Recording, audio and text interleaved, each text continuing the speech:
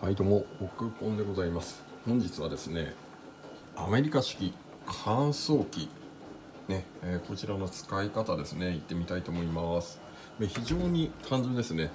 まあこいつ入れてでなんかねこの柔軟剤があるんですけどもうこれホームセンターとかで売ってます。ホームセンタースーパーマーケットでね。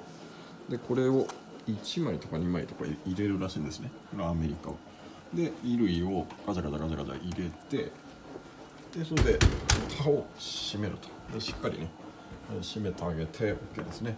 でこれでモアドライですね。こいつにガリガリガリと回してそして、えー、スタート。これで OK でございます。はい。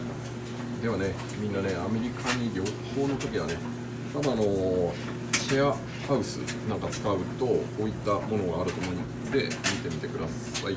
じゃあね